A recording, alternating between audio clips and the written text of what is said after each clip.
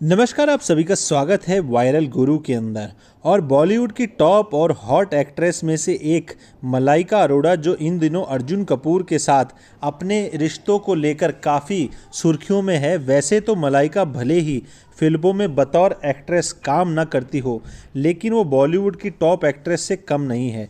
अपने हॉट अंदाज और स्टाइल की वजह से वो कई टीवी रियलिटी शोज़ में बतौर जज नज़र आती है। इसके साथ ही वो कई इवेंट्स भी करती रहती है।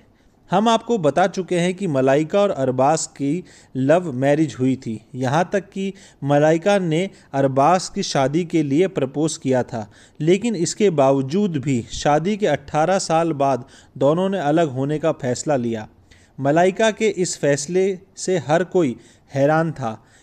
इसको समझ नहीं आया कि, रहा था कि आखिर ऐसा क्या हो गया कि मलाइका अपनी 18 साल की शादी को ख़त्म करना चाहती है। साल 2017 में मलाइका और अरबाज ने एक दूसरे से अलग होने का फ़ैसला लिया।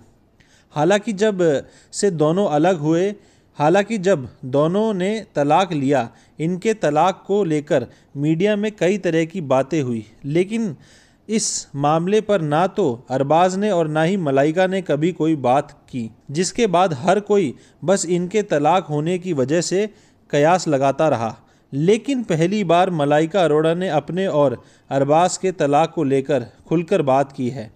हालाँकि मलाइका ने तलाक की साफ़ साफ़ वजह तो नहीं बताई, लेकिन ये कहा कि अगर आप किसी के साथ खुश नहीं हो तो बेहतर इसी में है कि आप उससे अलग हो जाओ। बता दें कि मलाइका अरोड़ा हाल ही में करीना कपूर के रियलिटी शो, जहाँ पर उन्होंने बताया कि जब वो तलाक ले रही थी तो इस बात पर उनके घर वालों का क्या कहना था। मलाइका बताती है कि मुझे लगता है कि सभी की पहली राय थी कि सब, ये सब मत करो। हालाँकि आपको ये कोई नहीं कहेगा कि हाँ प्लीज़ जाइए, करिए। लोग सबसे पहले यही कहेंगे कि जो भी कर रहे हो, सोच समझकर करना।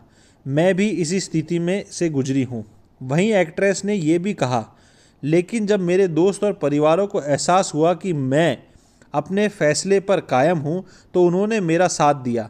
सभी ने कहा, अगर तुम ये फैसला कर ही रही हो कि तुम्हें अलग होना है, तुम एक स्ट्रांग महिला हो जब मेरे परिवार ने ऐसा कहा तो मुझे इससे और हिम्मत मिली, जो मुझे चाहिए थी।